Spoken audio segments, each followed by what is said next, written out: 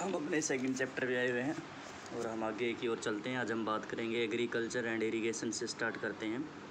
Many of the achievements of the Cholas were made possible through the new developments in agriculture जो है, हम यदि बात करें अचीवमेंट्स की चोल साम्राज्य की तो वहाँ पर क्या है, कृषि के लिए बहुत सारे परिवर्तन हुए look at map two again दो नंबर के मैप है, उसको दोबारा से देखें। Notice that the river Kaveri branches off into the several small channels before empty into the Bengal Bay of Bengal. These channels overflow frequently, depositing fertile soil on the bank. Or water from the channels also provide necessary moisture for the agriculture, particularly the cultivation of the rice. जो यदि आप map number दो पे चले जाएँगे तो वहाँ पर आप यदि देखेंगे कावेरी नदी को यदि ढूँढने का प्रयत्न करेंगे, शायद यही होगा, मैं मानचित्र, ये दो नंबर ये है। तो यहाँ पर कावेरी नदी दिखाई गई है, ठीक है? उसके बाद ये सोर्स दिखाए गए किस प्रकार से ये चैनल्स हैं अलग अलग चैनल्स में डिवाइड हो जाती थी। तो ये सोर्स थे एनर्जी हमारे इरीगेशन के रूप में उपयोग होता था, ठीक है? मोस्टली आप कह सकते हैं कि जो एग्रीकल्चर था, उसके अंदर इसका बहुत ज़्यादा उपयोग होता था,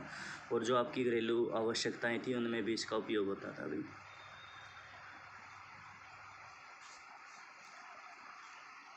Although agriculture had developed earlier in the other part of the Tamil Nadu, it was only from the 5th to 6th century that this area was opened up for a large scale cultivation. हालाँकि जो agriculture थी वो क्या तमिलनाडु के अलग अलग क्षेत्र में आपको देखने को ज़रूर मिल रही थी हो रही थी ठीक है और ये जो शुरुआत है इसकी पाँचवीं और छठी जो शताब्दी उसमें शुरू हुई थी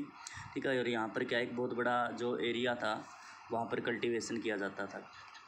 Forest had to be cleared in some regions, land had to be leveled in other areas. In the delta region, embankments had to be built to prevent flooding and channels had to be constructed to उसके बाद क्या है कि भाई जो है हमने बात की कि भी लार्ज स्केल पर कल्टीवेशन होता था तो उसके लिए क्या उन्होंने क्या फॉरेस्ट को बहुत ज़्यादा क्लियर कर दिया गया था यानी कि जो आपकी जो वृक्ष थे उनको काट दिया गया था कुछ जगह तो बिल्कुल क्या बिल्कुल समतल कर दी गई थी और जेल्टाइक रीजन था, वहाँ पर एम्बार्कमेंट बनाए थे, तटबंध कहा जाता है, जिससे क्या है फ्लड से जो फ्लड आती है, उसको फ्लड रोक, रोकने के लिए क्या है, ये तटबंध बनाए जाते हैं ऊँचे ऊँचे टिप टिब्बे बनाए जाते हैं, ताकि बाढ़ का पानी वहाँ पर नहीं आए। And channel had to be constructed और दोबारा से क्या है कि भी जो चैनल्स थे, उनको क्या दोबारा से बनाया जा रहा था। और carry water to the fields और उनके द्वारा क्या है कि भी पानी को क्या है, हमारे खेतों तक लेके जाते थे। In many areas two crops were grown in the year और पानी की वजह से वहाँ पर क्या कि भी एक साल में दो फ़सलें वहाँ पर उगाई जाती थी भाई। In many cases it was necessary to water crops artificially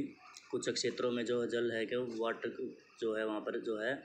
तो कृत्रिम रूप से पहुँचाया जाता था। A variety of methods for use for irrigation इसके लिए क्या अलग अलग तरीके बनाए गए थे? बहुत सारे। In some areas wells for dugs कुछ में क्या कुएँ खोदे गए? In other places huge tanks for constructed to collect rain waters उस क्षेत्र में क्या बड़े बड़े टैंक बना दिए गए, जिसमें से क्या कि जो बारिश होती थी, उसके अंदर उसका पानी इकट्ठा हो जाता था। Remember that irrigation works require planning organising labour and resources maintaining these works and decided on how water is to be said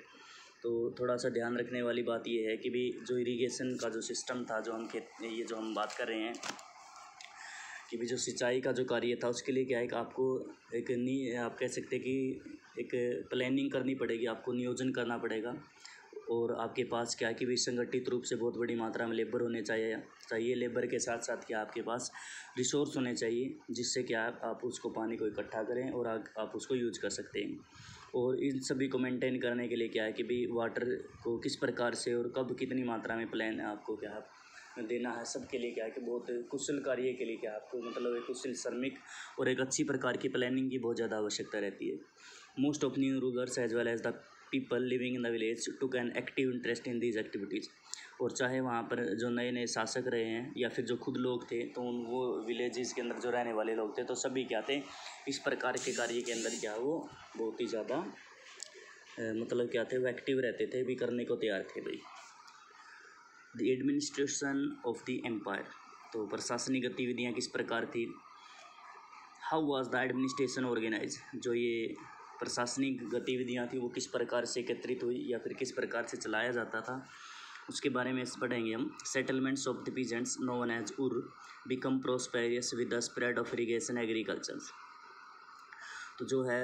settlements होती थी जो किसानों की, जिसे हम वहाँ पर उर के नाम से जानते हैं, ठीक है? तो ये क्या बहुत ही ज़्यादा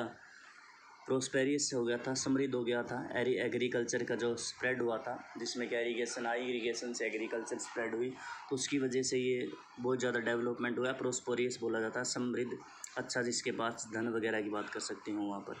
Group such villages form large units called Nadu तो बहुत अलग अलग जो कई जो गाँव थे, वो एक लार्जर यूनिट का निर्माण करते थे, जिसे नाडू कहते हैं। The village council at the Nadu perform several administrative function including dispensing justice and collecting test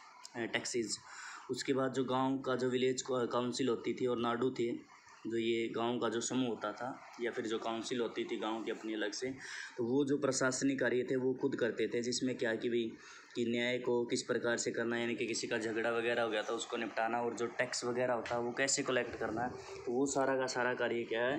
council और जो है हमारी नावडू होते हैं, जो हमारा विलेजेस का जो समूह था, उसके माध्यम से किया जाता था। Rich peasants of the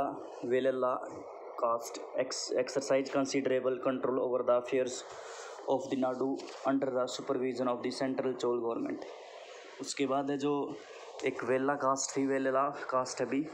ये क्या थी भाई? एक बहुत ज़्यादा रिच पीजेंट्स थे ये, एक कास्ट से संबंध रखते हैं बहुत ज़्यादा। और ये क्या है कि जो चोल साम्राज्य था, जो उनके जो मतलब क्या, चोल साम्राज्य के नीचे क्या थे, उनके सबॉर्डिनेट थे। और उनके नीचे क्या है कि भी ये जो कार्य था वो एडमिनिस्ट्रेशन का, वो ये कंट्रोल करते थे भाई।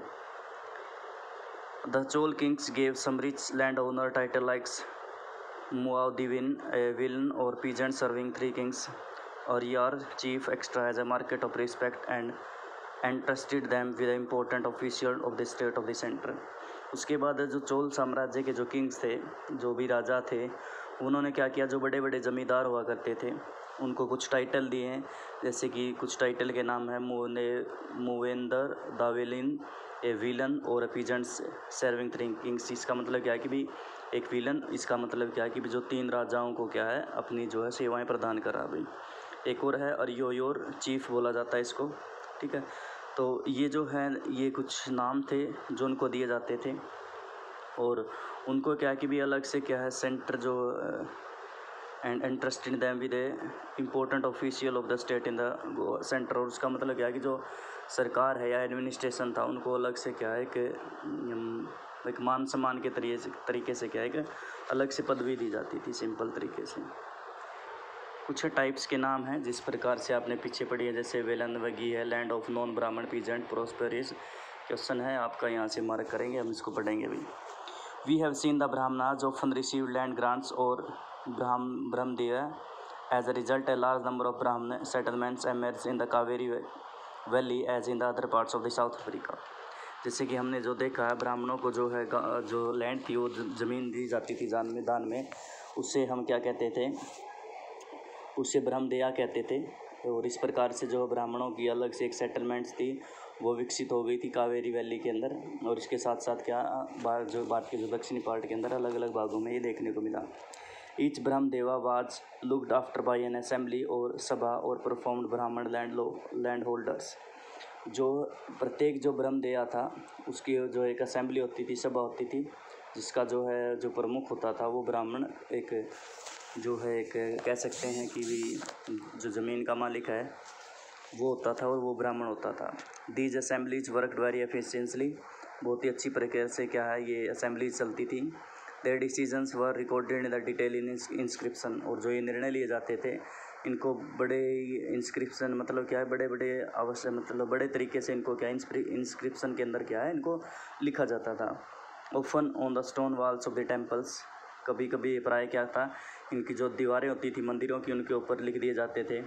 Association of trader known as the नग nagarams also occasionally performed administrative function in the towns तो कुछ शहर होते थे, वहाँ पर क्या नग्राम्स होते थे, वो कुछ था प्रशासनिक कार्य वहाँ पर, वो खुद चलाते थे भाई। Inscription from the Uttaramerur in Chingleput district Tamil Nadu provided details of the way in which the sabha was organised एक इंस्क्रिप्शन मिली है हमारी तमिलनाडु के अंदर तो वहाँ पर एक, ये पूरी डिटेल बताई गई है किस प्रकार से जो है इनकी सभा होती थी, वो ऑर्गेनाइज होती थी। This sabha had two separate committee to look after the irrigation works gardens temple extras name of those eligible to be the member of this community were written on the small ticket of the palm leaves. These tickets were put into an earthen pot from which a young boy was asked to take out the tickets one by one and each committee. उसके बाद क्या था कि भी जो ये जो system था सभा के अंदर जो हम बात कर रहे थे किस प्रकार की ऑर्गेनाइज थी तो वो वो किस जैसे कोई भी वर्क है इरीगेशन का कार्य है, कोई गार्डन वगैरह का, मंदिर का कार्य है, जो भी कार्य करवाना होता था, उसके लिए क्या करते थे? पहले तो एलिजिबल कैंडिडेट को देखा जाता था, यानी कि वो जिसके पास ज़मीन है तो वो भी आपको देखने को मिलेगा। आगे की ओर दी गई है कि भी ज़मीन होनी चाहिए, सभा का जो है, कौन एक मेंबर हो सकता है। जैसे कि उम्र पैंतीस से सत्तर है, उसको वेद का ज्ञान है या नहीं है, ठीक है, वो वो कुछ कंडीशन अगर वो पूरी करता है तो उसके बाद उनको शामिल कर लिया जाता था। और एक पाम जो लीफ होता था, हमने जो बात की थी तो उसके ऊपर एक टिकट बनाई जाती थी और उस पर लिख दिया जाता था अभी और उसके बाद एक जो गड्ढे में डाल दिया जाता था और किसी एक बच्चे से क्या है, बुलाया उसको बोला जाता था और वो टिकट बाहर निकाली जाती थी और उसके हिसाब से उनको काम सौंप दिया जाता था भाई, ठीक है? जैसे यहाँ पर है कि भी वो जो सभा की बात करें ना, ये इंस्क्रिप्शन में लिया कि सभा का जो मेंबर कौन बन सकता था कि भाई उसके पास अपना खुद का घर हो, पैंतीस से सत्तर साल की उम्र हो, वेदों का ज्ञान हो, ठीक है एडमिनिस्ट्रेटिव मैटर में क्या हो ओनेस्ट वगैरह हो। तो सिंपल सी बात है, उसको ही वहाँ पर उसके अंदर शामिल करने के लिए बोला जाता था। बस भाई इतना ही है इसके अंदर।